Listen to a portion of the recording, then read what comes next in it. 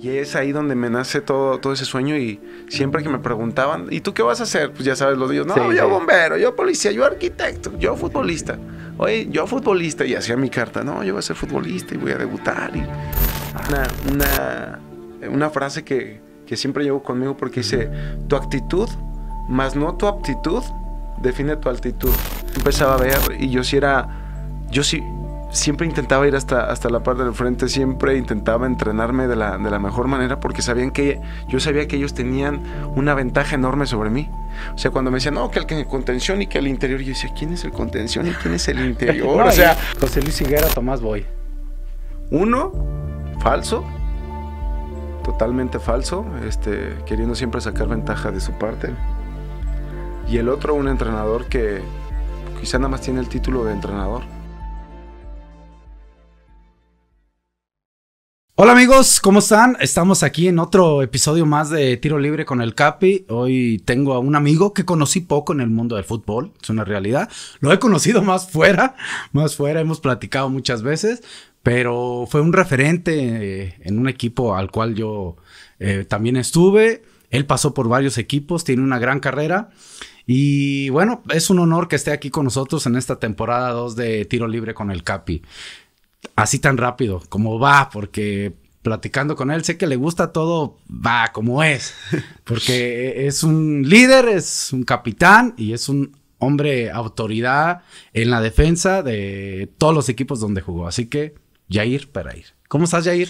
Ramoncito, Bienvenido. Muchas gracias. Es un, un placer, un, un gusto poder estar aquí. Te agradezco mucho la invitación. No, hombre, Gracias al por poder tener una, una buena charla. Si bien dijiste no convivimos mucho en el tema del fútbol, fue porque me llevas como 30 años. Sí, No, pero la, la verdad fue, fue de que no nos tocó mucho. Sí, nos, no. nos conocimos este un poco ahí en, en lo que fue Eh, Chivas sí, cuando sí, estuviste en tu proceso ahí. como entrenador. De hecho, fui dirigido por ti Ah, partido, me acuerdo sí. perfecto. Y este, pero no, es un placer lo que marca tu, tu trayectoria. No, muchas y gracias, lejos de tu trayectoria, tu persona, No, que, que muchos te conocemos. eh, pues es un placer poder compartir contigo estos momentos. No, pues al contrario, muchas gracias. Siéntete en casa, estás en casa. Gracias. Esto es tuyo y pues iniciamos. El fútbol siempre ha estado presente en mi vida, así como en la de muchos de ustedes. Detrás de la figura pública existe un ser humano que se enfrenta a diversos desafíos más allá de su profesión. En este espacio queremos conocer las verdades de ese ser humano que pocos conocen. Bienvenidos, esto es Tiro Libre con el Capi.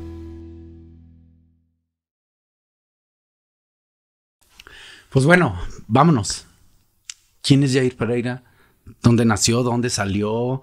Este, yo tenía una idea y ahorita yo creo que me la vas a cambiar a ver si es cierto. Mira, yo nací, yo nací en la, en la ciudad de Cuautla, Morelos. ah, ok. Ahí nací, pero realmente no me crié ahí. Estuve como cuatro o cinco meses. Ah. De hecho, la intención de mis padres es que yo naciera en México, pero ¿En- no llegué. en Ciudad de México? Sí, nada más que ¿Se no alcanzaron a llegar? En la carretera se tuvieron que regresar. Este, porque ya, yo ya venía Ya, de ya. salida y, y nací, me acuerdo, en una. eh, me cuentan mis padres que llegaron y que, que veían una, un hospital chiquito y veían este otro de maternidad. Entonces le preguntó, ¿a cuál te va? Pues el que esté más cerca. Y ahí nací como después de 30 minutos de que, de que llegué. Ah, mira. Entonces nací en esa ciudad de Cuautla, pero realmente empecé o, o me crié en la ciudad de Irapuato, Guanajuato. Ah, ok. Y ahí este, estuve hasta mis 15 años y fue cuando salí de casa este, para intentar todo este tema del, del Te, fútbol. te sientes guanajuatense. Yo tenía, yo me quedé Sí, con sí, eso. sí. Yo cuando de repente veo ahí, estoy haciendo allí mi tarea, Cuautla, dije, ah, cabrón, será el mismo Jair, estaremos hablando del no, Jair. exactamente. Sí, mucha gente no, no me reconoce por allá porque la verdad es que pues, no viví ahí. Este, pero pues fue, es, es mi Ese- lugar de ese nacimiento, ¿no? Pero sí, soy, soy más de, de Irapuato, me considero más de allá, porque pues ahí me pasé pues ya toda mi infancia. ¿Tus padres iban para Irapuato? ¿Son de Irapuato? No, ellos viven en Ciudad de México, ¿México? pero por cuestiones de trabajo, este, mi Ah, papá va a incursionar a, a la ciudad de Irapuato. Ajá, Entonces ok. nos llevan a toda la familia. De hecho, mi hermano menor, que le llevo yo dos años, él ya nace en la, en la ciudad, de, la Irapuato. ciudad de Irapuato. Pero sí, ahí, ahí es donde estaban mis, mis padres. ¿Tu infancia fue ahí? Ahí fue totalmente mi infancia. Fue donde empecé a soñar, donde empecé a, a querer ser jugador. por- Eh, Empezaste a jugar en un... No, en el barrio. en el barrio, en la, en la ¿Cómo? calle, en la, en la escuela. ¿En la calle, sí, me acuerdo en la, en selección de. Bueno, desde que estaba en la primaria, pues jugaba a los torneitos de la primaria. claro. Pero llegando a, a casa, pues era en la calle, ya sabes, dos piedras. Sí, sí, sí, sí. O sea, sí, con- con- eh, en el barrio, literalmente. ¿Cuándo entraste a un equipo organizado, digo, del barrio? Que tú digas, ¿cuál fue tu primer equipo? Yo creo que hasta secundaria, hasta secundaria Ah, con la con la selección Con de la- mi secundaria. Ah, ahí fue como que el, el maestro de educación física era el entrenador y empezabas ahí a, a- de una manera un poquito más, más formal. Ya este, hasta después que me invitaron a un equipo del, del, del barrio, eh, me vieron jugar unas, unas personas y fue que me empezaron a, a decir que me veían como cualidades, que por qué no me probaba. Y este, y fue cuando una vez llegó el güero real a, a Irapuato. Ah, mira. Y este, y ahí fue donde me vio por primera vez y me hicieron una invitación para venir a Chivas. Para venir. ¿Viniste? Sí, a los 14 años. Y. Y me mandaron a la goma. O sea, te dijeron, este no, no, sáquese. ¿Quién, Nada quién más, te dijo que no estaban? Ja- Jaime que- Pajarito fue. Sí, estaba Jaime. Yo digo, Ajá. yo trabajé ahí, estaban en ese scouting, creo que era Jaime, Díaz. Pues sí, o sea, a, mí- a mí me tocó, estaba en mi categoría que era el 86, era Sí. Jaime el, el encargado. El que había hecho la visoría había sido el güero real. El güey, el profe. Ajá. Ya llegabas acá y. Exactamente, entonces ya llegabas y te, te tocaba. Y Saludos, yo, Jaime. sí, sí. No, y me lo topo luego en el Sí, gimnasio a Jaime y platicamos y se ríe. Y dice que por mi culpa lo corrieron y no es cierto, pero no, un tipazo, Ja- Jaimito, la verdad es un tipazo, me lo he topado este fuera. Pero sí, a ver, eh, yo venía del barrio, no tenía, no, no tenía escuela, no tenía muchas cosas. Y me topaba con niños que ya llevaban un proceso de escuelita. claro, Entonces, claro. Sí, sí. era real. O sea, yo tácticamente y técnicamente no, no, no Pero tenía es que mucho. así era antes, Jair. Digo, Sí. yo estoy más veterano como tú. Yo, yo la verdad, yo así llegué. Sí, pero así fue el proceso, ¿no? Y exactamente. así fue. Ok, regresas, Me regreso a Irapuato porque me dicen que dices, no. no. Pues de no". pronto te, te sientes raro porque a tus 14 años que te digan así como que no estás apto para algo, este, es complicado. O sea, si, si la, la cabeza te empieza a trabajar y decir, "Uh, no, no soy tan bueno como, como yo pensaba o como me decían en Irapuato. Este, me daba cuenta que había niños mucho mejores que yo, mucho más fuertes, mucho más altos. Yo era, yo era muy chaparrito. De verdad, ¿Sí? yo crecí hasta los. Tardaste en- Sí, tardé como hasta los 18, Ah, o sea, 19 años. tengo chance O sea, tú tienes chance todavía. Tú tranquilo, chance. tranquilo que. que- Yo todavía puedo. Pero sí fue, fue así. Entonces me di cuenta que había gente mucho más preparada que yo. Eh, en ese momento sí se te rompe un poquito el corazón claro, porque pues, claro. no estás preparado para eso. Yo creo que de niño nunca estás preparado para que te digan un no. Pero conforme va pasando el tiempo, pues te vas dando cuenta de, de muchas cosas. Pues regresé a Irapuato, regresé a seguir estudiando. Yo trabajaba, yo vendía, bueno, vendía quesos con mi papá, porque mi papá a eso se dedicaba. Y este, y luego me pusieron un, un- tenía mi, mi mesita para vender raspados. Yo vendía raspados Ah, afuera de, del estadio de Eh, Irapuato, pero precisamente. Sí, ahí en el Sergio León En Chávez. el Sergio León Chávez, Sí. ahí vendía yo raspados. Este, y pues desde ahí, yo creo que fue donde empezó también más ese sueño de ver salir a los, a los jugadores. Hace poquito tuve una, me invitaron a un, se llama TED Talk, que es una, y platicaba un poco de, de eso, ¿no? De mi, de mi sueño, cómo, cómo fue que surgió también a, a raíz de ver yo a los jugadores salir en sus coches, de ver cómo los niños y las personas de todas edades se les acercaban a ellos para pedirles un autógrafo. Y eso me, me iluminaba, o sea, y yo me lo imaginaba. Yo me acuerdo mientras hacía los raspados, yo me imaginaba y decía, yo algún día, yo algún día, ya había sido rechazado yo de Chivas, pero yo, yo seguía en esa, en esa cuestión, esa- ¿no? Sí, digo, O sea, sí lo tenías bien claro, o sea, eh, eh, yo voy a jugar. O sea, ¿cuándo, cuándo te diste cuenta? ¿Cinco, seis, siete años? No sé. Yo voy a jugar. ¿Cuándo, cuándo en realidad? Yo, yo no.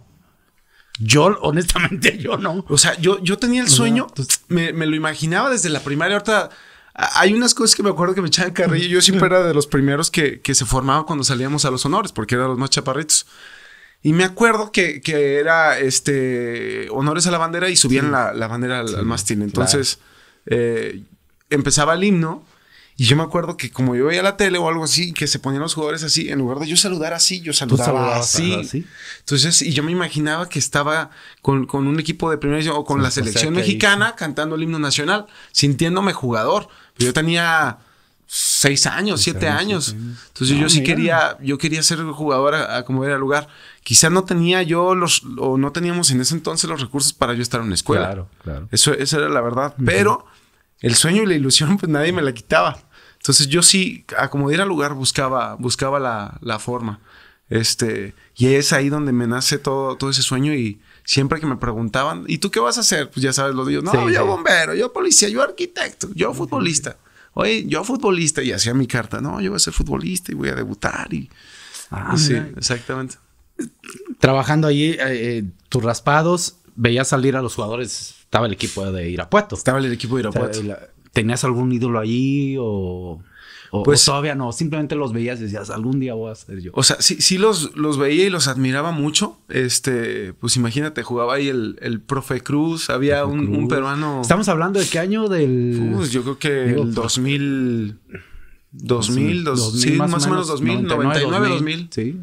Más Así, o menos. Ya estaba veterano. Sí. Ya, llevabas 10 años jugando en primera división, imagínate. No, sí. Y este, sí, fue, fue así, más o menos por esas, por esas fechas. Y después, ¿cómo llegas a profesional? Bueno, aquí tengo, según mis notas, Tampico Madero. Primero llego a, a- me voy a Ciudad de México a hacer unas pruebas, me, me entero y me inscribo. O sea, yo eh, literal de que Prueba te hablabas por teléfono y, oiga, ¿cuándo son las pruebas? Aparte, mi papá siempre le había ido al Cruz Azul. Entonces, Ah, una vez me dicen, ¿sabes qué? Cruz Azul va a hacer pruebas. Y yo ya me sentía un poco más preparado de las primeras De veces, porque ya empezaba a jugar de una manera en el barrio todavía, pero más formal, ya sabiendo que... Siempre central, perdón. No, eh, lateral derecho. Ah. De lateral Ok. derecho y a veces un poquito más adelantado. Más Tú sabes que de niño empiezas de, Sí, de delantero todo, y sí. de repente La te vas de los jugadores somos todo lo contrario de lo Sí, que terminamos sí, jugando, ¿no? exactamente. Entonces empecé como, como lateral y, y me empiezo a, a probar como, como lateral.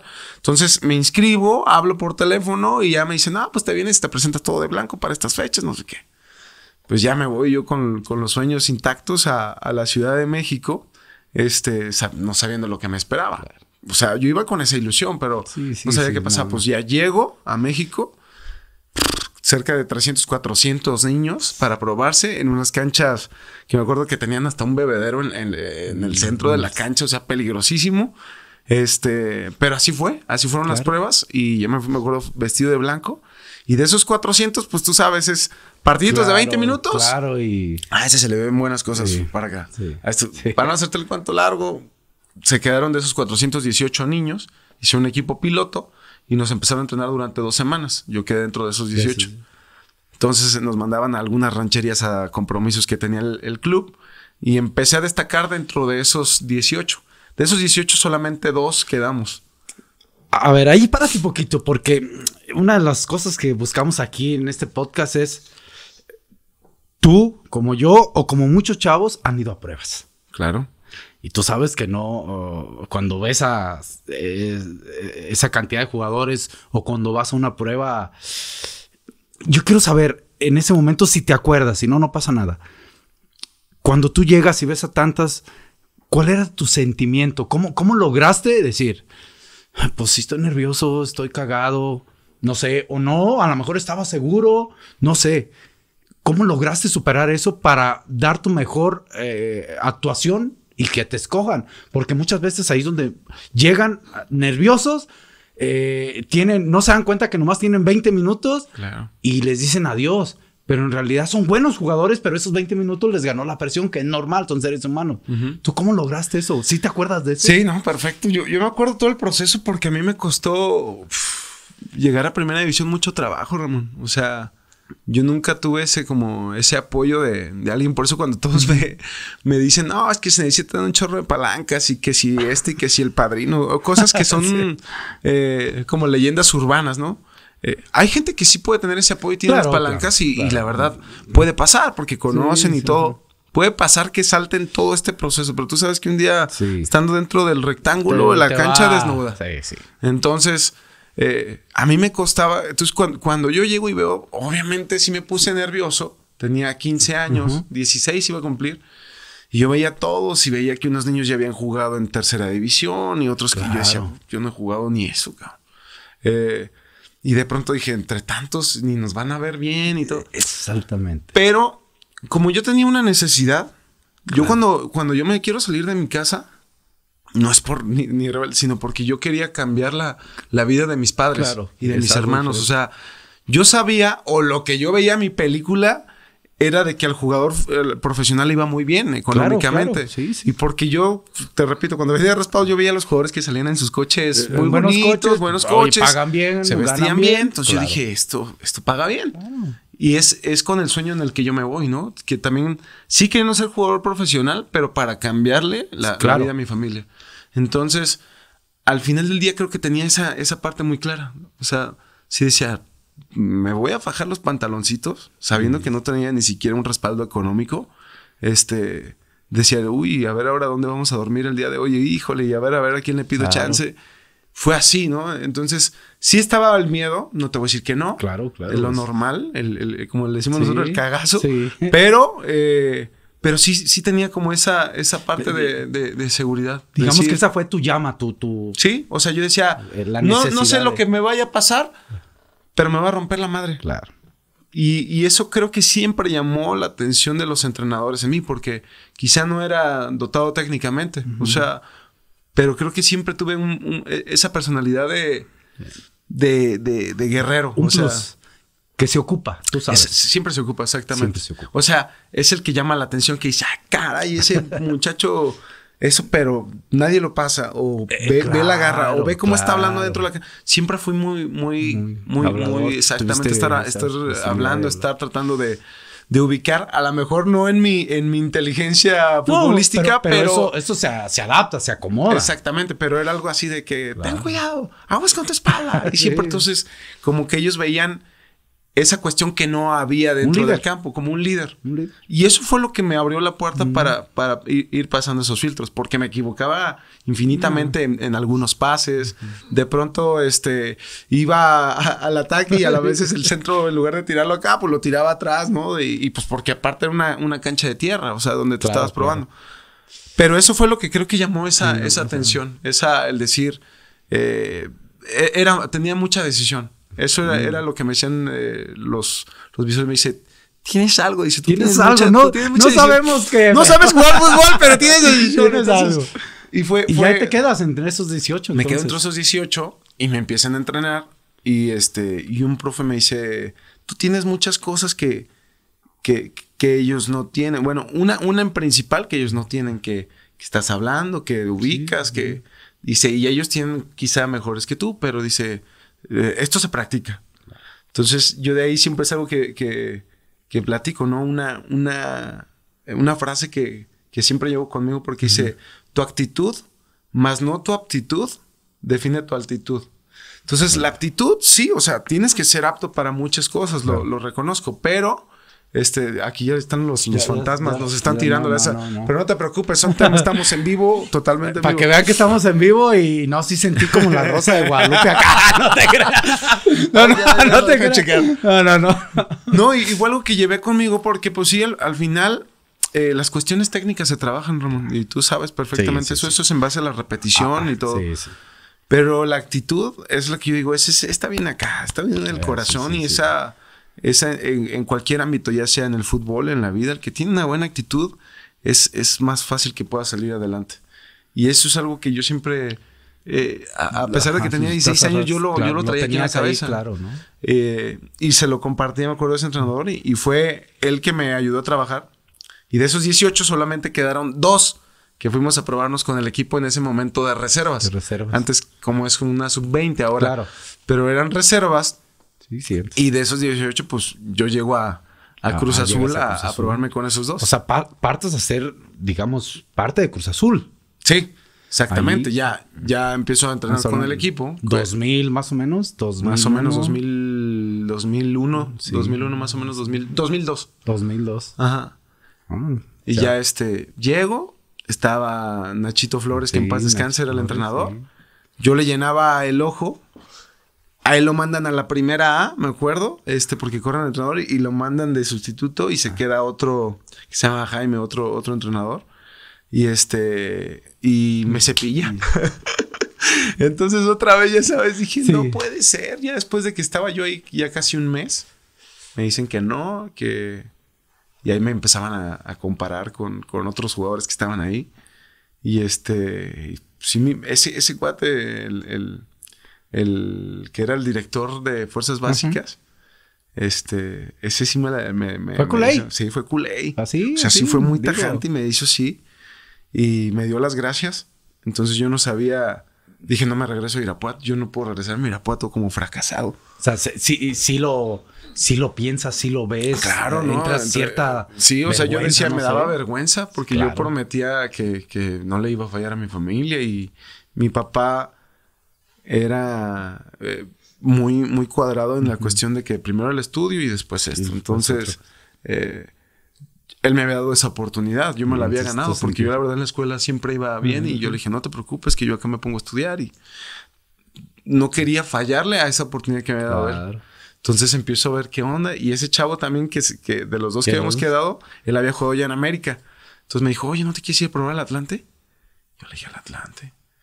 Pues vamos.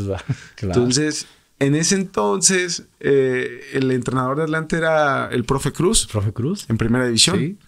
Y en reservas estaba Mario García, que cuando yo vendía raspados afuera, yo los conocía a ellos. exactamente. Entonces, fue así, les platico, hola, mire, soy tal persona. Este, me dicen, ah, pues vete a probar. Y llegó con las reservas a probarme, ya literal, casi que, que sí con unos chavos de prueba, pero, que me viera directamente este Ya, la prueba. Sí, ya la prueba. Y, y, a las dos semanas que estoy entrenando con ellos, me dice Mario García, este, me dice, no, pues te vas a quedar. Hombre, yo ahí fue donde. ¿Cómo, fue eso para ti? Porque muchas veces. Eh, ah, se quedó y todo, pero hay un, hay un, hay un cúmulo de sentimientos, ¿no? De, de, de, de, de, esfuerzos tuyos, de tu familia. Eso es como sacarte que es como cuando te dan algo, ¿no? No sé, es algo bien chingón. Pues eh, para mí era de cuenta como la, como la lotería, literal. O sea, yo, yo me acuerdo perfecto que, que pues me voy llorando, cabrón. O sea, yo, yo me voy en el, en el metro, me acuerdo que pagaba mis dos pesitos para, para irme a, un lugar donde me estaba quedando. Y llorando, o sea, agradecido con Dios y pensando yo que la vida ya me iba a cambiar. Pero no fue así, o sea, no ganaba un solo peso. En, eh, o sea, el club no me dio nada. o sea, llegó, fue mi primer equipo registrado, fue Atlante. Y este, pero yo sabía que era como, como el camino, ¿no? O sea, eh, ya entrenábamos en un lugar, la verdad, lamentable, porque era una unidad deportiva muy, muy fea. Estábamos al lado de un basurero. Y este, pero los partidos eran en el Estadio Azteca. Imagínate cómo era todo ese, contraste. el contraste. Pero sí, cuando yo llego y firmo y que le digo, bueno, ¿y cuánto voy a ganar? No, pues aquí no se gana. ¿Cómo que no? O sea, pero ¿y luego cómo me voy a seguir manteniendo? Yo me puse, tuve que buscar trabajo. Yo, yo este, buscaba en el periódico. No había casa club, ¿no? Nada de eso. Ellos tenían no casa club, tenían una, una casa abandonada, ah, literal, que estaba ahí por cerca del aeropuerto.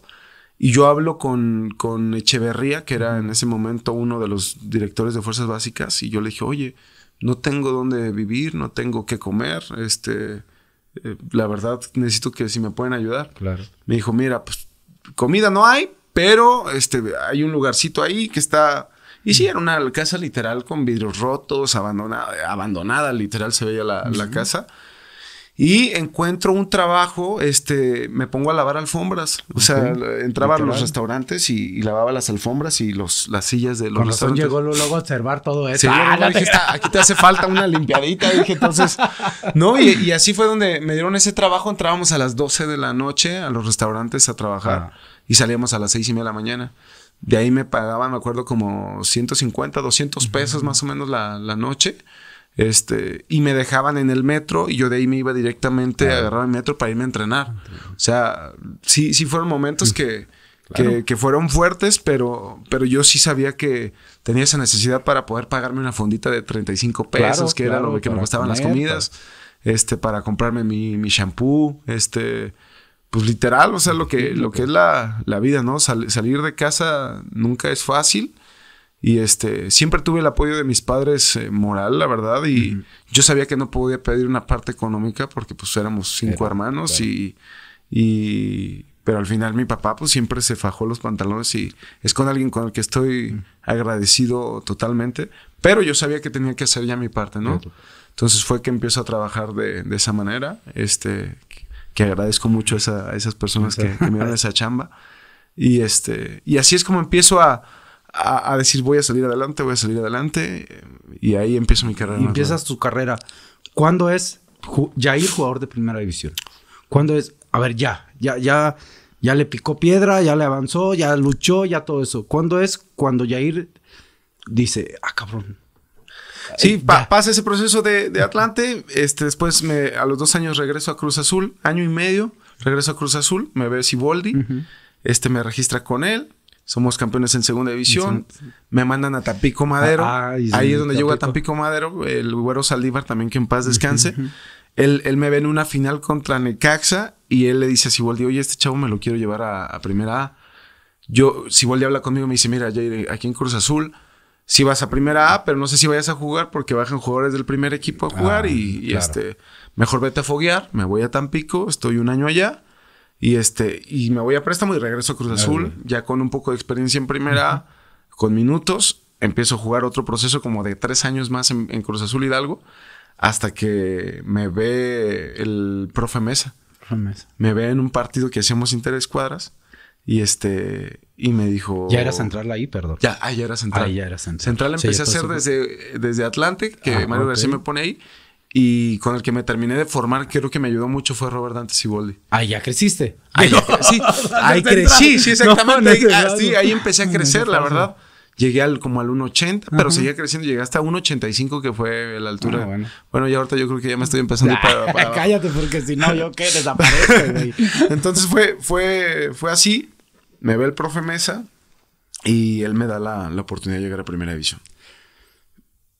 Eh, todo ese proceso que, que pasaste, de repente, eh, eh, el sentimiento, tu esfuerzo, pero también está la familia, me mencionan mucho a tus padres, todo el esfuerzo que hicieron. Cuando ya debutas, el profe Mesa te da la oportunidad,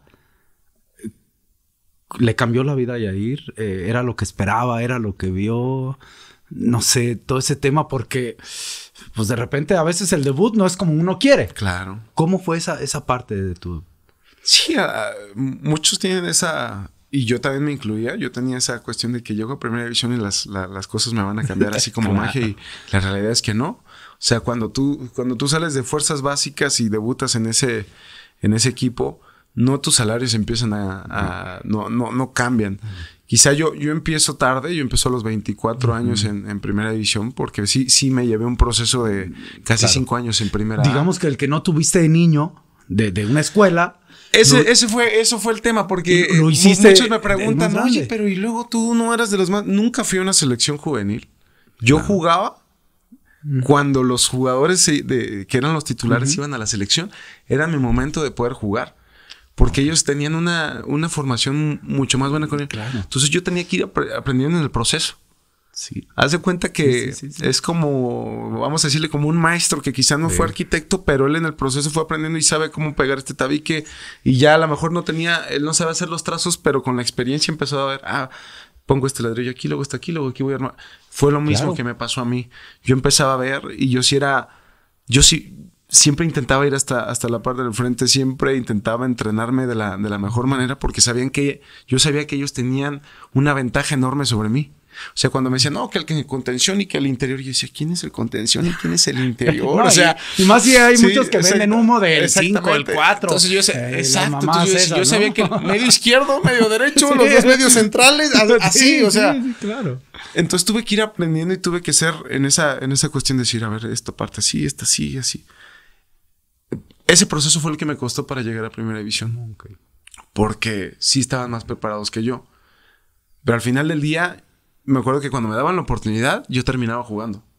O sea, eh, se podía esa parte como de, de líder que me, me, no sé si nací así, a ver qué dicen, se, se nacen o se hacen. Quizá yo tenía siempre esa, esa cuestión y siempre fui, fui así. Aparte de que aprendí, ¿no? Yo, Claro. yo veía jugadores en primera división y veía, me imponía, por ejemplo, el, el, el Cata, el Cata Cata, Díaz, este, que venía de, de Boca De- y de veía Boca, cómo claro. empezaba a mandar y yo veía los entrenamientos de primera división y decía, ah, este cuate es un líder ahí. Entonces me, me identificaba con ciertos personajes y trataba de imitar lo bueno de cada uno de ellos. O sea, no copiarles, imitaba sus, sí, sus sí, sí, formas. O sea, me gustaba y decía, me gusta cómo transmite él esa, esa parte de seguridad. Pues quiero intentar hacer lo mismo donde yo estoy en la primera. Y este, y fue así. Entonces sí me comí un proceso eh, en primera A para poder estar bien para poder llegar a primera división. Entonces, si mi salario no eran, no eran buenos, sí podía vivir porque muchos me dicen, ay, se quejan y la vida que está bien fuera, fuera del fútbol. Pues sí, pues a ver, es, es algo que yo lo sé, pues y por eso me fui para querer ser un jugador, porque yo sabía lo que, lo que costaba la vida. Claro, a veces es, un trabajo bien pagado, punto. Claro, pero pues uno, uno es como si eres abogado, pues también abogado, pero pues estudiale, o sea, para ser abogado y ser un fregón. Eh, es lo mismo en el fútbol y en cualquier deporte, o sea, quieres, quieres lograrlo, pues, pues hazlo. A veces somos como criticados eh, por esa cuestión de que, ay, ustedes se quejan y son jugadores y ustedes, si vieran cómo está la vida acá, pues claro que lo sabemos, pues si de ahí vengo del barrio y por eso me quise salir de ahí, ¿no?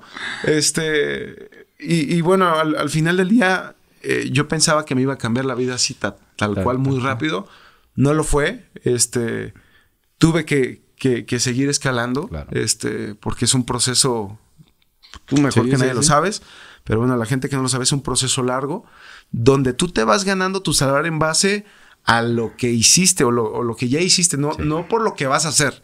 El fútbol te da por lo que ya hiciste. Entonces, yo no había conseguido absolutamente nada.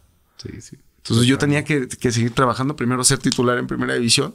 Estaba plagado de extranjeros, me acuerdo, de Cruz Azul, y yo para jugar era un rollo. Pero el profe Mesa, estoy totalmente agradecido con él porque confió en mí, a pesar de que había muchos extranjeros él me dijo, este, voy a confiar en ti y confío en mí. que este, y bueno, de ahí es donde, donde empieza a cambiarme ya la, la, vida. Ok, llegas a Chivas. Eh, de niño a quién le ibas, nunca te pregunté. ¿Tenías un equipo? ¿No tenías un equipo? Estaba muy. Me, gustaba el equipo de Chivas porque tenía muchos amigos de la, de la colonia que le iban a Chivas, pero mi papá era Cruz Azul. Cruz Azul. Entonces, teníamos una televisión en la casa y veíamos al Cruz Azul. Claro. O sea, y aparte la antena es el que nos. Bueno, veíamos a los dos, ¿no? pero. Una que otra que te clavabas sí, exactamente, ¿no? El ganchito de que mi papá, párate, mueve al gancho y yo. Pero sí, intentábamos ver a Cruz Azul porque era el equipo que, mi papá decía, no, le vamos a ir al Cruz Azul. Ah, pues Entonces, digamos que llegar a Cruz Azul para ti fue de alguna forma como un algo cumplido, ¿no? no claro, un, sueño. Imagínate que estábamos hoy aquí, tú y yo sentados y vemos una telecita chiquita y me sentaba con mi padre a, ver al Cruz Azul jugar y de pronto fuera que su hijo está dentro de la televisión y su papá estuviera acá. O sea, la verdad fue, fue un sueño para él también. ¿Cómo fue eso? Ah, eso es lo que queremos. Eh, Jair ya está jugando en, en, Cruz Azul, ya es de primera división, ya el amigo, el primo, el tío, el eh, etcétera, etcétera, etcétera, ya sabe que, que su sobrino, que el amigo, que el ahijado, el lo que etcétera está en primera división y tienen ese concepto de, no, pues ya ir ya, pues, pinche riquillo, ya gana una. Ok. ¿Cómo fue ese cambio para, inclusive para tus papás, para tus hermanos? Eh, ¿Les cambió? ¿Se, ¿Sintieron algo diferente? ¿Tú sentiste algo diferente? Fíjate que en mis padres era pues obviamente el, quizá el orgullo de ver a, su hijo, de todo lo que les había costado y de pronto verlo ahí reflejado. Mis papás siempre han sido muy sencillos, muy, muy humildes, muy aterrizados, porque pues venimos de, abajo y, y, es alguien que, que, la verdad toda la vida puedo estar agradecido con ellos. Hoy, hoy en día, gracias a Dios, siguen juntos ellos. Entonces los valores que, que me, que me pusieron hasta, hasta que me tuvieron en la educación, hasta mis 15, 16 años, fue, fue muy... Eh, muy correcta, lo, quisiera decir así porque siempre me dijeron, sé humilde, este, sabes dónde vienes, siempre eh, cree, son, son personas que creen mucho en Dios. Entonces, el, dinero pues no les mueve porque pues, no, eh, para empezar, ellos tampoco dijeron, ah, ya somos. No, él dijeron, lo logró, o sea... Y al final del día, pues yo sí quería honrarles. O sea, yo siempre he dicho, honra a tu padre y a tu madre y después todo, todo, todo, va, todo Dios, se encarga de las demás cosas. Entonces, fue así, pero al final del día ellos siguen, siguen siendo los, los mismos. Eh, pues sí, te dabas cuenta que cuando llegaba yo a, visitarlos a Irapato, como toda la gente ya te veía de una manera diferente, eso te cambia. Y nadie te prepara para eso. Sí, no. Entonces yo, ya, oye, que me ya ir y que vente y que te invitamos. Y yo decía, Claro. "Ah, caray, o sea, ¿qué pasó acá? sí, la- Claro. la, la verdad fue así. Pero como sí mi proceso fue, no, no fue tan repentino como a unos chavos que sí les cambia la vida. De pronto estás aquí, de repente al otro día acá y empiezan, empiezan, empiezan. El mío fue un proceso que creo que fue el que me ayudó a, a siempre estar aquí abajo, ¿no? O sea, Ser consciente. ser consciente de las cosas, Porque exactamente. yo, igual y puedes diferir conmigo, no tienes que estar de acuerdo, porque yo creo que sobre todo en esto, que es lo que conocemos, nos llegan muchas cosas. Claro. Y, pero, pero cuando nos llegan cosas tenemos un sentimiento. Muchas veces el llegas a un restaurante y, y sí, cómo no, pásele, no hay lugar, pero Sí. ¿saben? Eh, esos son sentimientos que ay, de repente llegan y, y hay dos formas. A ver, lo voy a decir tal cual. ¿eh? Y, y amigos futbolistas, muchos los quiero, otros no los conozco. Hay dos formas.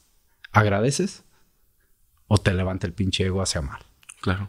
No hay otra. Sí, la sí, neta. Es la verdad. Sí. O sea, Es que agradeces amablemente. Claro, te- Es que te es una realidad. Nos desde que vas al banco, desde que vas a un restaurante, la verdad es que te, te tratan diferente porque para ellos es una ilusión o, o una emoción tener Sí, quizá sí. una, una figura importante Claro. del deporte, porque al final el deporte Sí, llama sí, sí, mucho la sí, atención. Claro. Pero tienes razón, o te agrandas O, o agradeces. o agradeces, dices, ay, O sea, veces- tomas la mesa. Sí, claro. Tomas la mesa, tomas el lugar y todo, pero agradecido. Claro. De un gesto de un ser humano que te lo da por porque le, le va a ese equipo. porque es apasionado de sí, un o por lo que sea. que tú estás. O, o inconscientemente, porque a veces no lo tienes que decir, dices, a huevo, soy Ramón Morales. Sí, claro.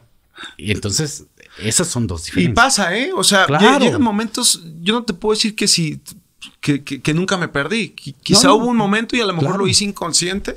Claro. Este, pero sí siempre intentaba como decir, no, no, no, o sea. Claro, de- de darte Sí, cuenta, darte ¿no? cuenta. Porque muchas veces puede pasar que, que un día no te diste cuenta con un aficionado o Claro, con una persona claro. que a lo mejor no agradeciste o que no tuviste el tiempo para hacerlo. Y tú piensas que no. Pero eh, es, es- es la realidad de cómo te va poniendo la- la- las cosas, ¿no? Y a mí me decían, no, ya eres bien agrandado. Ah, Pero agrandado, ¿por qué? O sea, yo no me daba cuenta el por qué. Pero sí intenté siempre ser o seguir esa, esa línea de hasta con el barrendero, con el que fuera, este, ser igual. Sí, ahora también lo voy a decir, ¿eh? Jair no se anima a decirlo, pero yo se lo voy a decir. Muchas veces no pierde uno el piso el jugador. Es la persona, el, cambia la perspectiva de la persona de cómo te ve. Porque pero eso se llama envidia, celo, lo No, que ustedes quieran. Porque a lo mejor tú sigues siendo el mismo, pero él ya te ve con otros ojos. Sí, ellos te ven diferente. Tienes razón. Ah, Eso también puede pasar. Y, y- y a, mí, a mí me pasó mucho. O sea, yo decía, pues yo sé. Yo sí perdí el piso. Este, gracias a Dios tuve una- me casé joven y tuve una esposa que, que ella ya tenía todo. Entonces ella no era nada Ah, sí, nuevo pues. para ella, ¿no? ¿no? Entonces, ¿cuál fue mi forma de perder el piso? Y te lo comento aquí. Yo llegaba dos horas antes al entrenamiento. Antes. Era inclusive pleitos con ella. ¿Qué? ¿Tú vas a llegar a abrir el Verde Valle o el Colomo, verdad? ¿No? Y yo le decía, no, pues es que me gusta llegar temprano, me gusta ver que mis compañeros lleguen y, y estar ahí, preparar mi entrenamiento. Cuando yo llego del Mundial del 2002, yo llegaba faltando 20 minutos, media hora. Entonces ella un día se da cuenta, yo no me daba cuenta. Yo sentía el mismo, yo Ramón soy el mismo, llego, claro. entreno. Entonces ella un día me dice, oye, antes te ibas dos pinches horas antes y ahora llegas faltando 20 minutos. ¿A quién le ganaste la pinche mentada frase? Ya sabes, ¿no? De la pegué a ella. Y entonces, a caray, como que. ¿Te Como pegó? que fue un Sí, o sea, me pegó como para yo reflexionar. Ah, cabrón, sí es cierto. Si antes llegaba bien temprano, ¿por qué ahora? ¿Será porque.? ¿No? Y eso a mí me ayudó. ¿Tú tuviste algo así o, o simplemente ese, esos buenos valores de tu familia te ayudaron a darte cuenta? Los Sí, detalles? sí, te digo que sí me, creo que sí me ayudaron mucho. Este, porque hay una frase que siempre también, que me decía mi padre, este, Dios no te da las cosas hasta que no estás preparado para recibirlas. Y que eso fue algo que a mí me pasó, porque yo decía, oye, yo veía a otros, le digo, pero ¿cómo ellos sí? Y me acuerdo que ellos llegaban ya en sus, en sus coches así. Le digo, Dios, yo me he preparado toda la vida, le he echado ganas, he trabajado, este, tengo a mi familia conmigo, yo también me casé muy, muy joven, que eso también me ayudó muchísimo. Porque cuando yo empecé a tener lana, ¿no? yo ya tenía a dos niños. Entonces ya no era lo mismo como que me voy con mis amigos, me voy a la fiesta, agarramos un avión privado, agarramos un jet. Claro. No lo tuve. Eso yo nunca lo tuve y me acuerdo que me decían, vente, vámonos. Pues no puedo, yo tengo a, mi señor y tengo a mis dos hijos ahí en casa. O sea, entonces yo ese dinero ya no era como para comprarme un gran coche, porque yo sabía que tenía que, lo primero era una casa para ellos. Claro. Entonces, fue, fue algo así como que también me ayudó muchísimo esa, esa, esa cuestión a, aterrizarla, ¿no? Porque sabía que ya había gente que dependía de mí. Que, te detenía allí. Me detenía exactamente, porque es muy fácil jalarte en el tema del fútbol. Hay dinero, hay reconocimiento, hay fama, hay este mujeres. sí, mujeres. Y sí, y, siempre está el, medio así, ¿no? Está latente todo. Ese, esa tentación está, al pie del día, ¿eh? y sin que tú la busques. Sí, no, no, no. O sea, van llegando, va llegando todo ese tema. Entonces, al final fue, fue esa cuestión que a mí me ayudó mucho, el, la verdad, cuando yo no, no era nadie. O sea, yo conozco a, mi señor en Tampico, mm, ganando 12 mil pesos y cuando me pagaban. Mm. Porque de repente se desaparecían tres meses y, ya no tenía ni para pagar la renta. Entonces, eh, ella me conoció así, nos fuimos literal a Ciudad de México con una, no, diciendo con una delante, no, yo iba así con las dos, pero bien atadas, o sea. Entonces, sí, la verdad, yo también estoy agradecido con ella porque ella pues, aguantó todo, o sea, idas en metro, estando embarazada después, no teníamos coche. O sea, fue un proceso que, que me ayudó muchísimo a no perder. ¿Cuándo pierdes quizá esa parte? Cuando... Sí. Pues gracias a Dios ya tenía un cierto nombre en primera división, o no, no, no vamos a llamarle nombre, ya tenía bastantes minutos y ya tenía un buen salario, donde yo el día de mañana ya me podía comprar el coche que yo quisiera. Claro, quizá en eso, yo también lo hice, ¿no? Que de pronto decía, ah, este, y ya de, pronto no, es que pierdas el sentido de pertenencia. Simplemente lo puedes. Simplemente lo puedes hacer. Y, a veces no lo piensas, simplemente lo puedes me decían, no, él ya perdió la cabeza, mira, que antes andaba en su chevicito y ahorita ya trae este, un BMW y trae este, ya le compró una mujer y aparte ya tiene tres coches. Porque lo llegué a hacer. O sea, yo llegué a tener hasta seis coches, siete coches ahí estacionados y todos me decían, oye, este, pues, ¿Lo puedo hacer? No, pues lo, lo, podía hacer. Claro. Pero ya después dije, qué necesidad de tener ah, todas esas cosas. Es parte de madurez, pero de la vida. Exactamente. Eh, no del futbolista, ¿eh? De la vida. Sí, claro. A ver. Llegas a Chivas. Llego a Chivas. ¿Cómo fue tu llegada a Chivas? ¿Cómo fue conocer Chivas? Más que tu llegada, ¿cómo fue conocer Chivas? Porque, lo digo con mucho respeto, Cruz Azul es una institución muy grande, muy, muy grande. Yo lo dije hace mucho, Ah, si yo no hubiera jugado en Chivas, ¿en dónde más me hubiera gustado jugar? Pues La verdad, lo digo tal cual. Sí. Pero llegas a Chivas y, en Chivas son mexicanos. ¿Cómo fue conocer eso, eso para Yair? Fue, me, costó trabajo tomar la, decisión de salir también de Cruz Azul. bueno, entre que tomé la decisión y me la hicieron tomar casi que a fuerza, ¿no? Porque yo, yo acababa de renovar con Cruz Azul y yo me sentía, la verdad, fui de, me formé ahí y fui sangre azul. O sea, de casa. De casa, exactamente. Yo acabo de renovar tres años de contrato con ellos cuando me marca Jorge, que en paz descanse. Yo estaba en Las Vegas de vacaciones con mi señora y me marca Jorge, hola Yair, ¿cómo estás? y ya le digo, ¿qué onda? ¿Quién habla? Soy Jorge. ¿Cuál Jorge? Jorge Vergara. Ah, señor, ¿cómo está? este, y ya, pero no sabía qué pasaba. Yo, antes de irme a vacaciones, yo había renovado tres años más con Cruz Azul. Y yo con Cruz Azul estaba espectacular porque había premios, porque un equipo que siempre peleaba las liguillas, porque teníamos un equipazo, este, y yo me sentía cómodo, yo decía, está bien, no sentía tampoco yo, este, era de los jóvenes del equipo, porque pues estaba plagado yo de, jugadores de selección nacional, entonces yo me sentía arropado, entonces yo decía, no me voy. Omar Bravo influyó mucho en que yo me fuera para allá, mm, porque Omar lo tuve de compañero Cruz Azul. Y él me habla y me dice, oye, este, pues yo ya me regreso después del Atlas, me regreso a Chivas. ¿Cómo? Sí, que mira, que, pero mira, nadie sabe. Le digo, pero que, a ver, ¿cómo está pasando? Me dijo, no, es que también Chivas te quiere. Ya me dijo Jorge, me preguntaron por ti. Y yo pues les di buenas referencias. Pero ya ahí no tienes idea lo que es Chivas. Yo sé que Cruz Azul es muy grande, pero no tienes idea lo que es Chivas. Y yo así pensándolo y ya cuando, pues la verdad me daba casi el doble de lana. O sea... Claro, claro. Y yo agarré y dije, ¿qué hago? Y empecé a preguntarle, hablé a Torrado, a Chaco, ¿qué hago? El único que no quería que me viniera era Luis Amaranto Perea, un defensa central. Sí, sí, me acuerdo. Mm, que le aprendí muchas cosas, este cuate, un líder increíble. Pero bueno, me dijeron, Yair, estos son trenes que a veces hay que agarrarlos. A veces no pasan tan seguido y mira que tú te tardaste para poder eh, empezar a ganar bien tantos años. vamos a tomarla y que la tomo. Entonces hablo con Billy Álvarez, él habla conmigo porque me dijo, ya te tengo negociado, ya, pero te va a ir muy bien. Dice, si no te va bien en Chivas, lo, lo que quiero que sea el primer equipo en regresar que sea Cruz Que sea Azul. Cruz Azul. Entonces ahí fue donde le di la mano, le dije, órale va. O sea, Y me vine a la aventura a, a Guadalajara. Chuy Corona me hablaba muy bien de la ciudad. Entonces, o sea, no, nunca habías venido a Guadalajara. O, o- a jugar, a a jugar, pero nunca está. convivir, o sea, nunca estuve más días. Entonces, de pronto tú sabes que los cambios dan siempre un- una parte de Siempre temor, algo O sea, decir es que yo estoy bien aquí, ya tenemos nuestra casa acá. Sí, sí. Bueno, doy el salto y me vengo para acá. Y debo aceptar que, que fue la mejor decisión que, que, que pude haber tomado.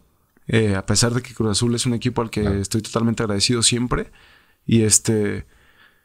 Pero al principio no fue como yo lo esperaba. Fue, Fue- jodido. fue- Fue jodido porque el, el club llevaba. Llegas con, con. quién llegas? Con el güero real. El imagínate, Real. con el- Llegas en el 2012. 13. 13. 2013 con, el güero. profe Real. Y este. Sí, sí. Y el equipo llevaba dos torneos haciendo 12 puntos. Sí, sí, Estaban sí, bien eran- mal. O sea, ya estaba en la zona del, de porcentaje, descenso, o sea, de sí. descenso. Y llego y, y no era lo que Omar Bravo me había contado. Entonces yo llego y dije, y me acuerdo que yo llegué a la casa y le dije, mi amor, ¿a dónde mierda nos venimos a meter?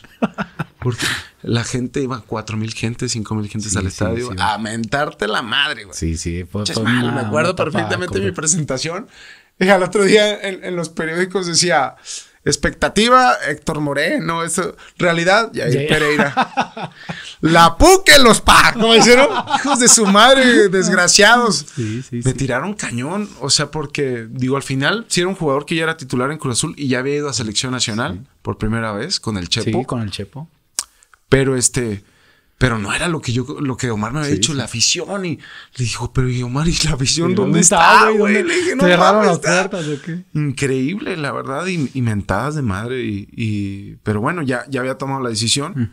Y este, y me tenía que fajar. Ahora yo no llegaba como, a- como cobijador. Me di cuenta que ahora yo llegaba a tratar de cobijar porque había también mucha gente joven. Exactamente.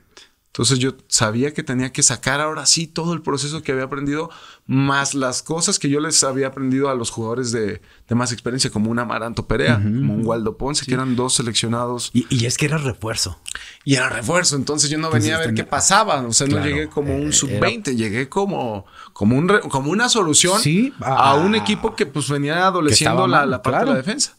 Y aparte me dan el dorsal 4. Cuando yo decía, no, mejor dame el treinta y tantos, cabrón, porque cuatro, pues ha, tra- ha pasado pura gente Sí, fregona, sí, de- chingona. de eso ahí, Estaba eh, Héctor Reynoso que había hecho un carrerón, o sea, con ellos. Quizá al, no. final pues, pues pa- pasó todo, todo, todo este tema, ¿no? De Mm. que el equipo no iba bien, pero eso no le quita todas las cosas buenas que pudo claro. pasar Héctor Reynoso y aparte era un capitán. Sí, sí. Entonces, eh, sí de pronto decía, bueno, pues es Jorge es el que yo quiero que me ponga, me lo voy a poner.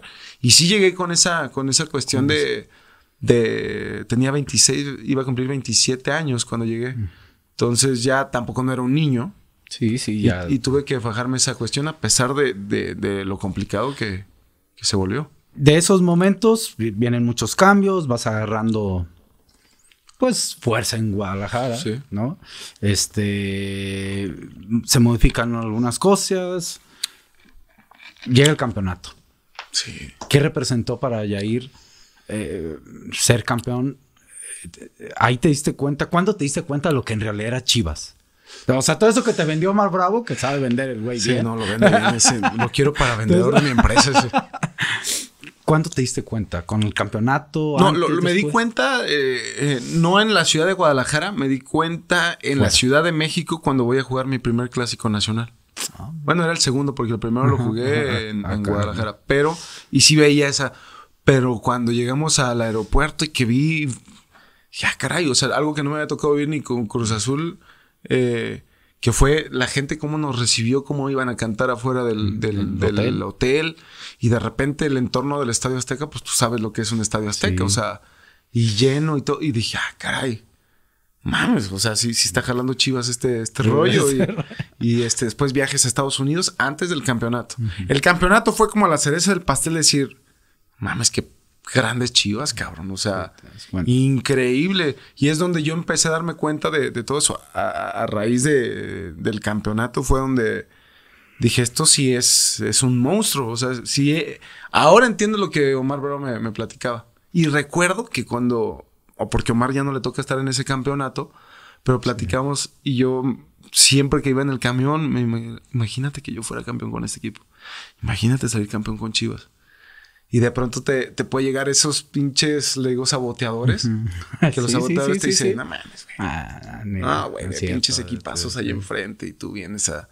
Y yo decía, no mames, chingue, cállate, cabrón. O sea, imagínate ser campeón con Chivas. Gracias a Dios tuve ese, ese privilegio y esa fortuna de, de lograrlo y darme cuenta de la inmensidad de lo que es este equipo. Cuando, cuando sucede eso, ahí ya le cambió la vida a Jair. Ya, ya, es, ya no es el mismo Jair de, de- de- de- ni de Tampico, ni de Cruz Azul. Eh, ¿Cómo fue la fama en realidad? Porque ahí se abren las puertas. Digo, me tocó vivirlo. Yo les he dicho mucho a los chavos de Chivas que cuando llegan. eh, tienen que ser campeones con Chivas para que yo, yo sí me di cuenta con lo que era Chivas hasta que fui campeón, ¿eh? Sí, claro. Eh, entonces yo sí les digo, tienen que ser campeones, porque ahí se van a dar cuenta. Si todo lo demás es muy bonito, lo- todo el recibimiento de la gente, el cariño, pero cuando eres campeón es, es- eres como si les dieras a ellos esperanza, vida, no sé, como si les llenaras el tanque a, a todo aficionado Chiva de, de- de felicidad, de- de fuera problemas, de todo. Entonces eso es bien chingón. ¿Llegaste a perder el piso en esa parte o, o- o te sucedieron cosas fuera de lo normal que, que nos puedas decir? Decir, No mames. Pues no, no perder el, el piso sim- simplemente era como que vivías en un sueño guajiro porque todo era, todo era, todo era miel. O sea, la, gente estaba totalmente contenta. Como dices tú, lo bonito de esto es como, cómo le cambias el estado anímico a la gente. O sea, cómo la gente te empieza a valorar y ya te ve como una, si quieres llamarle como una leyenda, como alguien histórico dentro Sí, del, sí, sí. del club. Porque dejas dices, huella. o sea, no, dejas huella porque dejas huellas. Y te das Ah, cuenta porque hoy en día pasaron ya cinco años, va para seis, de- de- que fue en el Sí. 2017. Y la gente sigue, oye, ¿y por qué no regresa a jugar a, a Chivas? O sea, y, y me sigue, oye, todavía te ves bien para jugar. Y yo dije, no, yo hace un año ya, Ya. dije, ya estuvo. Y de pronto te meten esa espinita, ¿no? Y, y la gente te sigue extrañando. Claro. Te pagaban, me pagaban las cuentas. Iba a un restaurante y de repente, este, oye, la cuenta, no, ya está pagada. ¿Cómo que ya está pagado? No, el señor de allá. Oiga, y así me pasó, Ramón, como a ti te haber pasado, pero me pasó infinidad de veces y dije, increíble. O sea, ¿por sí, qué no me hacen eso eso es- cuando voy al súper? O sea, porque Porque sí, en el súper nunca vi que alguien me lo pagara, pero sí, no, pero en los restaurantes, la verdad, me pasaba esa cuestión y me hicieron un corrido, me hicieron un rap. Bueno, me apodaron el comandante desde de- en cuanto Sí, llegué y de pronto sí puedes decir, ah, no, pues sí soy el comandante, ¿no? Pero o sea, te la creías. Te la ¿no? creías, y Sí, entonces- claro, claro. de repente yo no, yo soy la verdad alguien muy risueño, pero yo me costó trabajo, me metí tanto en el papel del comandante que me daba a veces pena hacer unas bromas o hacer cosas, porque me decían, no, a mí me tienen como, como alguien de respeto como el comandante. Y, y me pasó, ¿sabes qué? Cuando yo salgo de Chivas y me voy a Querétaro, me acuerdo que llego al vestidor y yo veía así a todos serios conmigo y de repente me, me decían uno así yo y yo me cambiaba y se me quedaban viendo así. Dije, güey, les caigo del pedo, De ¿qué? chingada, ¿o qué? Pero ellos pensaban que era así porque en la cancha siempre así fui muy, pues muy fuerte Sí, sí, o sí, muy a lo que iba y pensaban que yo era igual afuera. Entonces de repente, hola, ¿qué tal? Buenas tardes. Ya como me hablan de usted, le digo, no, cabrón, no mames, No. güey, soy jugador más, güey. o sea, pero, pero sí, esa, esa cuestión de pronto te empiezas a creer un cierto, un cierto personaje. Pero, pero no, la verdad que, como bien lo mencionas, el haber sido campeón con Chivas fue lo mejor que me pudo pasar. Te- vamos a ir a una de preguntas un poquito ahí rápidas. A ver, a ver qué tal, a ver. ¿Te arrepientes de algo? Eh, no, porque esos tropiezos que llegué a tener fueron los que me hicieron aprender y, y madurar. Va. ¿Qué momento marcó tu vida? Que- Ah, hay muchos, en la vida del ser humano hay muchos, pero que tú digas, este fue para... Ah, el.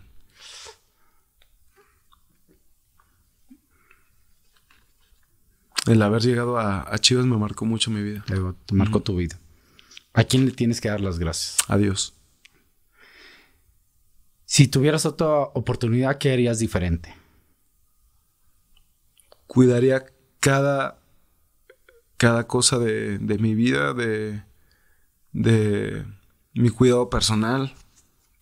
Eh, me contrataría una persona que, que pudiera estar al pendiente de, de, de mi cuerpo. Eh, o sea, obviamente uno, uno tiene que trabajar en eso, pero sí tener un especialista y dedicarme totalmente a, a mi cuerpo, porque yo sufrí muchas lesiones, eh, pero dedicarme totalmente a mi cuerpo y dejar las cosas que de pronto te distraían un poco, dejarlas de lado y enfocarme en una carrera que es tan corta y darle todo a, a esa... Para ayer a la... Si yo te digo lesiones, ¿te marcaron? Mucho, mucho. Me perdí un mundial por lesión. eh, estaba contemplado ahí en el, en el de Rusia. Y en unas eliminatorias al mundial contra Costa Rica me, agarró la pubalgia y pues, pierdo totalmente la oportunidad de, de seguir compitiendo para ir a, a, a ese mundial. Entonces, sí me, me marcaron demasiado para bien, para mal. Y este. Y aprender a. Después de una lesión siempre es. es es eh, complicado saber si vas a quedar bien. Yo la rodilla derecha tengo cuatro cirugías eh, y siempre te llega eso, y que irá a quedar bien, irá a quedar bien, pero Sí, es- sí, sí, sí queda el futbolista con un sí, golpe psicológico, ¿no? De saber sí, si- pues es, es- a nadie le gusta que... si, si quedas normal, digamos. Exactamente. No, sí, o sea, tu cuerpo lo vas desgastando y lo llevas al al límite hasta que, pues de pronto ya las articulaciones no, no están igual que como alguien que, que nunca ha tenido una operación. Va. Te voy a hacer unas preguntas. Si me quieres contestar bien, si no dices no y no pasa nada, porque aquí Tú libre. échale, son preguntas chilito. Sí, échalas. José Luis Higuera, Tomás Boy. Uno, falso. Totalmente falso. Este, queriendo siempre sacar ventaja de su parte. Y el otro, un entrenador que quizá nada más tiene el título de entrenador. Porque eh, para mí fue mala persona conmigo. Nunca fue frontal. Cuando quise hablar con él, me negó. Me negó. Fue un problema pues personal que tuvimos los dos de cancha, que empezó de cancha, no por mí, por él, y que yo todavía sí tuve esa, pues vamos a llamarle esa humildad o lo que tú O quieras, de, sentirme, eh, pues obviamente abajo de él porque él era una autoridad y, y de querer arreglar un problema que él había ocasionado y que me mandó a la, a la goma por, porque creo que yo para él era un problema al, al- al- al sentirme quizá líder de un equipo. Te Eh, quería eliminar. Me quería eliminar. Sacar. Y, y lo logró. O sea, en cuanto llegó, lo, lo hizo. Eh, nunca me había tratado un entrenador tan mal como me trató él. Eh, fue muy tajante conmigo y, y hay mucha gente que lo sabe. O sea, los compañeros que estuvieron con él, eh, conmigo en ese momento, ellos se dieron cuenta cómo, cómo era tratado por él. Pero pues al final es, es, es así, ¿no? Es todo tipo de personajes que te puedes encontrar. Claro. Y, y bueno, él, él tuvo mucho que ver con, con mi salida, al igual que, que José Luis. Lo, lo quiero decir, a ver, eh, cuando un entrenador no te mete, no es que sea culero el entrenador. Hay que ponerlo bien en claro, ¿no? Es, Sí, eh, porque van a pensar- Porque, no, no, oye, pues de repente el jugador también juega un titular y hay una banca. No es por ahí, es el trato. El, el- porque hay, hay entrenadores que sí son duros, te humillan y, y, pues de repente abusan de esa autoridad que tienes. Digo, Él- en él otras no tuvo- circunstancias le das un, le das chingazos o te agarras Sí, en la calle, pero no es así. No es ¿no? así, claro. Él no tuvo ni la educación de saludarme cuando llegó, cuando yo era capitán. Entonces yo desde ahí supe que iban mal las cosas. Claro. Cuando jalaba a otros jugadores para preguntarles si a mí a trotar, a mí me mandaba a trotar, no entraba ni siquiera con la banca. Entonces yo sé que era un Me tema estoy ya- viendo reflejado, fíjate. Era, era un Digo, tema ya digo- más, más allá personal. Digo, ahorita s- respeto muchísimo pues, que en paz Claro, descanse. que en paz y, descanse, claro. y al final era su, su forma, ¿no? Su, su personalidad. Pero bueno, no, no fue, no fue un, no fue algo que, que, que conmigo eh, ha- haya ido de- en buenos términos. La verdad, él, él en esa cuestión sí, sí, sobrepasó. Y, y bueno, al final tengo ese, ese recuerdo de él. ¿Te deben un partido de despedida? Está firmado. No sé qué, para serte honesto, Pero me no sé invites, si... güey. Todavía puedo jugar, ¿eh? No, sí, no, te, sea, te- te- te invitaría. invitas, güey, te invitaría, exactamente. De hecho, es para... Tengo que invitar a puro de la calaña, güey, para verme bien. Para aguantar, Para aguantar, porque si no, si pongo ahorita a jugar a chavos... Fíjate que lo he soñado Sí, sí, lo, sí lo, es algo que deseas. vamos, Me encantaría, ¿sabes? Me encantaría eh, juntar ese equipo campeón Ujú. Y jugar quizá un partido con el, con el actual equipo. No sé si se puede hacer. Tengo que hablar con, con Amauri porque pues eso me lo... e- ellos sabían que las cosas estaban medio raras a mi salida. Entonces, a Mauri, la verdad, yo eh, siempre se portó tipazo conmigo. Yo, cuando todos me preguntan de Mauri, que por qué no, mira, a Mauri, él, él llegó un poquito después a, a tomar las riendas del equipo cuando, cuando yo salgo. Y él, pff, él- a él y yo, bueno, a su padre, yo le debo muchas, muchas cosas. Estoy muy agradecido con él. Que en paz descanse. Jorge fue un gran ser humano conmigo. Eh, Fuimos hasta amigos. Salíamos a andar en moto juntos. Me regaló una moto. este. Y a Mauri, la verdad, se portó 100 puntos cuando se entendió. Y él, él fue el que me ofreció el, el partido de despedida. Ah, qué padre. En ese momento que está totalmente firmado. No nos hemos puesto de acuerdo. No sé si lo vayamos a hacer. Claro. Eso ya, ya sería cuestión. Pero sí, sí, Sí, lo es tengo- algo que- que sí, te- sí lo tengo pactado. La última de es chilitos. Hace poquito, a ver, se, se vio en las redes un conflicto allá en el mundial. ¿Sí fue o no fue, güey? Si eras tú, no eras tú. No, si era yo. Bueno, espérame, porque eh, lo voy a decir tal cual, ¿eh? Y aquí en, en- en mi casa con mis hijos. Eh, yo en esa parte yo, yo cuido mucho y trato de defender mucho al futbolista y me he equivocado a veces. Sí. Somos amigos, me considero tu amigo, Gracias, pero no es de que nos veamos, vamos a ser honestos. Sí, no, no, no. Entonces decían, no, sí es Jair. Y yo, no es Jair, hombre. Ah, quieren como que inventan pinches cosas para. o sea, te estaba defendiendo. Sí, gracias, gracias, Yo, gracias. inventan pinches cosas para sacar nota. Yo, ah, ya, ni se ve bien. Yo todavía, ¿no? No, la chingada. Y luego ya después, pues varios amigos. Tenemos un amigo en común. sí, sí. ya, no, no digo nombres.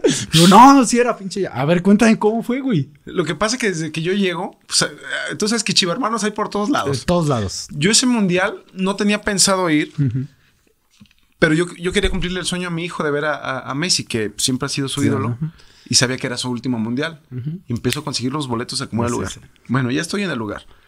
Llego y mucha gente de que... Era "Ah, el de México-Argentina. México-Argentina. México-Argentina. Entonces en este lle- mundial, ¿ah? llego y, y- y consigo- la verdad conseguí unos buenos lugares, unas personas de Estados Unidos que me hicieron el favor. Y este, y estaba en una buena zona, pero, pero re- repleto de argentinos. Entonces dije, madre. Dije, yo sabía cómo eran ellos. Pero mucha gente me empezó a ubicar. Claro. Y me llegaban y me pedían una foto. Sí. Entonces empezaron a unos güeyes así como que se dieron cuenta, como este güey, ¿quién es? Aparte, yo la verdad traía un- una de la selección y Sí, todo. sí, sí. Yo en mi, per- en, en- en mi Perfil de perfil fanático ahí. pero fan, ¿no? Sí. Vestido de selección. Y empezaron a, a- a cantarme desde el principio, jugador, hijo de puta. Y yo así, ¿qué pedo? Yo me reí y se O- o sea, Tú lo Normal. escuchabas. tú Sí, decías, pero yo bueno, normal. pues, a lo mejor te ves a un güey de adentro, ¿no? Y de pronto ya empieza el partido y de falta para Argentina y este y entonces, eh, pinches mexicanos, hijo de puta". Y yo ya me reía. Y luego en otro, este, falta para México y yo, pinches argentinos, madre", pero O sea, tú así- también. Sí. Tú te pero yo- pusiste en ese sí, tra- pues, tranquilo, pero ¿no? hacia- Pero bien, yo hacia la cancha. Todo hacia la cancha, ¿no? Y empezaron unas personas a, a venirse hacia acá y me hacían así. Pues yo era de los pocos mexicanos que estábamos. Al lado de mí había un señor también mexicano, como de 70 años, 65 años. Este gordito. Y me acuerdo que Santi me dice, papá, ¿y si hace gol Messi? eh, ¿Que, que lo festejo? ¿No lo festejo? Le dije, pues lo que tú quieras, tú vente a divertir. Sí, sí. Bueno, agarraban y, y ya empecé yo a sentir las cosas más directas. ¿eh? Entonces hacen el gol y avientan un, un vaso de refrescos, porque allá no había ni chelas ni nada, pero había refrescos. Y lo avientan, le pegan al señor en la espalda y me moja. Entonces cuando volteo, todavía se vienen los dos cabrones y me hacen así. Toma, mexicano de puta, toma. No, no. Pero haciéndome así, aquí, cabrón. Yo estaba, eran las escaleras, estaba el señor, estaba... Yo sentado aquí, estaba mi hijo Santi acá. Y cuando me pone acá, me paro, güey. Me calenté, Sí, güey. sí, sí. O sea, me calenté primero porque aventaron sí, cosas. Claro, desde ahí ya te cal- Y que me voy sobre él y que lo agarro, lo primero lo agarro del cuello y uno sale corriendo hacia atrás y el otro lo tenía del cuello. Le digo, ¿qué estás diciendo, cabrón? Le digo, ¿por qué aventaron? Sé qué. Y lo empiezan a jalar. Los mismos Ah. argentinos lo meten hacia, hacia el lugar. Y yo me quiero meter y sale un señor y una chava se me pone enfrente y me dice, no, déjalo, déjalo, déjalo, no sé qué. Y en eso el chavo creo que era un youtuber famoso, uh -huh. que es el que está grabando y empieza, ah, oh, el de Messi, y en eso dice, ah, hay lío, hay lío, hay lío. Y me ven acá y yo haciéndole así a ese guante y mi hijo, papá, nos van a sacar del estadio, papá, nos van ¿Qué a edad sacar. tiene tu hijo? Trece. Tres de años, o sea, estaba más Entonces sí, no, pues estaba, estaba nervioso sí, por lo sí, que estaba pasando, ¿no? Y en eso pues ya me, como que reacciono y digo, sí, nos van a sacar, cabrón. Y ya este, me, me vengo aquí a mi lugar y los argentinos que estaban atrás, había señores, no, nos abrazaban, nos decían, ah, no, tranquilo, disculpanos, disculpen, no todos ah. somos iguales, esos son los hijos de puta, son pelotudos y no sé qué. Y Santi así, papá, por favor, y ya como casi con entre lágrimas, y llegó una como de seguridad y no sé qué, y los argentinos dijeron, no, los de allá, los de allá. Entonces yo ya me quedé así, me senté, tranquilo me seguí viendo el partido y caí el segundo de Argentina. Entonces yo dije, ahorita van a venir, pero ya no, ya no llegaron. Ya no. Uno de ellos, al, al final, este, llega y me da la mano, me dice, oye, disculpa, sí me pasé y no sé qué, no te lo quería aventar a ti el refresco, lo, lo, aventé para arriba, o sea, pero nadie sentí el, el, madrazo, ¿no? Y dije, no, está bien. Y cuando me da la mano, lo agarro y lo jalo. Y le digo, mira, yo entiendo lo que es el fútbol y sé lo que es la pasión. Le digo, lo entiendo perfecto. Le digo, pero de ahí que me vengas a ofender en frente de mi hijo y que me avientes cosas, le digo, eso sí no lo voy a permitir. No, disculpa, ya lo, lo suelto así. Pero la gente pues nos arropó. Ya de pronto nos íbamos caminando fuera del estadio y me empiezan a llegar mensajes. y mensajes del, del, turco Sarif, que era el auxiliar de Matías Almeida. Dice, Shair, tranquilo, estás todo bien, disculpa, hermano, no todos los argentinos somos iguales, y no que... Yo dije, ¿qué pasó? Y de repente empiezo así, y mensajes de México, ¿qué pasó? Y empiezo a ver el video y digo, la madre, ahora van a decir que soy un pleitero, y que me empecé a agarrar, y sí me, me dio vergüenza, pero ya No, después bueno. dije, a ver, no, o sea, ¿por qué Reaccionaste, reaccioné a, Sí, a- sí, a sí. una. pues, ya, imagínate, si yo no hubiera reaccionado a ese, yo creo que en el segundo van y me hacen pipí. Sí, sí. O no. sea, o sea la, verdad fue es así. humano. Esa es Sí. la parte que decimos que es Entonces humano. yo soy así. Y sí fui Claro. también calentón en la, en, en la, en la cancha, también fui- era muy calentón. Pero afuera, pues me rebasó esa, esa pasión. Que, que si no a mi hijo, pues no sé, a lo mejor otra cosa hubiera pasado. No lo sé. Claro, no te tenías algo. Pero sí me quise que defender como decir, a ver, no te A ver, equivoques, güey. O sea, Claro, claro. ustedes Sí, son muy yo- buenos en el fútbol, pero nosotros también somos buenos para los catorrazos. entonces. No, y fue así, pero bueno, no pasó. Fue el único que te defendí, Sí, güey. que gracias. ¿eh? Sí. que- que yo no decía, pasó no, a más. no y la verdad no pasó a más. La verdad no pasó a más. Sí fue un apretón de cuello. Y ya. este, pero no pasó, ni Estuvo hubo bien. golpes ni nada. Yo, yo te aplaudí. Pero Gracias. bueno, este, muchísimas gracias, Jair. Tienes una nueva, una faceta que nadie conoce o que pocos conocen. Cantas muy bien. Pues Cantas muy sí, bien. me, me gusta. No, la no, neta me gusta te la he cantada. visto algunos videos. Tengo ahí mi Sí, pianito. tu pianito, me, me gusta la música. muy bien y Sí, no, pero lo, hago como, como, como hobby. hobby. Ajá. Qué bueno. Siempre. Me gustó la música y, y bueno, es algo pues de las bueno, que me relaja. ve pensando en la canción de tiro libre. Ándale, vamos a, vamos, Vamos. a hacer una fregona. Va. Ya sea, o le metemos hip hop o, O- le metemos. A no ver, sé. ¿qué le metemos algo Ve romántico. pensándola ahí para que seas el padrino de la música. Pues Jair, Ramón. muchísimas gracias. No, gracias a ti por esta, por este tiempo y. No, hombre, al contrario. gusto. Gracias por tu tiempo. Espero que te haya gustado. Conocemos un poco más al Jair humano. Somos humanos todos. Así es. Y pues gracias, te damos las gracias. Me gustaría que nos firmaras el balón. Es un balón que vamos a rifar cuando se, que- se termine la segunda temporada de todos los invitados. Claro que sí, con ¿Va? mucho gusto. Entonces, pues amigos, muchísimas gracias por estar aquí. Ya conocimos un poquito más de el comandante Jair Pereira. Gracias. Dios los bendiga.